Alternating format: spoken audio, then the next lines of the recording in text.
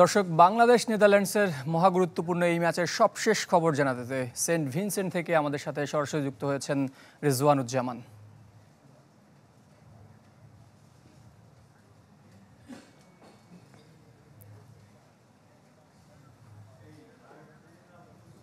Saint ভিনসেন্টের Arnos Vale cricket stadium থেকে আর কিছুক্ষণ পরে বাংলাদেশ নেদারল্যান্ড ম্যাচ শুরু হবে। এখানে আমরা ভেবেছিলাম যে খুব বেশি বাংলাদেশি সমর্থকদের দেখা মিলবে না কিন্তু শেষ পর্যন্ত মিলেছে বেশ কজন। বাংলাদেশের লাল সবুজ পতাকা দেখছেন উঠছে আর সমর্থকরাও এসছেন। কোথা থেকে এসছেন আপনারা?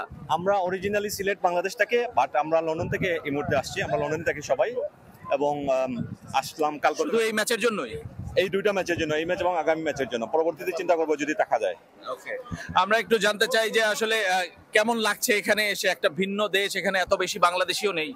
ক্যারিবিয়ান তো পৃথিবী জুড়ে ওদের সুনাম। এখানের যে সমুদ্র এখানের যে খাবার এখানে যে মানুষের ব্যবহার। তো এখানে আসলে ক্রিকেট নিজের দেশ খেলতেছে আবার এই আইল্যান্ডটি এত সুন্দর সবকিছু মিলে আতিথ্যতা আপনাদের দেখতেছেন। সবাই যারা চিনে না জানেন আমাদেরকে বাংলাদেশ বলে চিৎকার দিচ্ছে। আমার কাছে মনে হচ্ছে এতে কি ফ্রেন্ডলি এনভায়রনমেন্ট ক্রিকেটে কোথাও হবে না ক্যারিবিয়ান থেকে? আজকে কি হতে পারে ম্যাচে আজকে ডেফিনেটলি আমরা জিতবো ইনশাল্লাহ আমরা অনেক কষ্ট করে আসছি লন্ডন থেকে খেলা দেখার জন্য।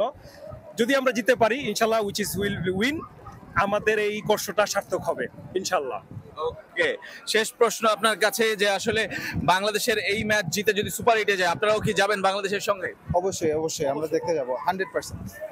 সবাই মিলে একটা চেয়ার করবেন বাংলাদেশের জন্য আমরা সেমনটাই চাই।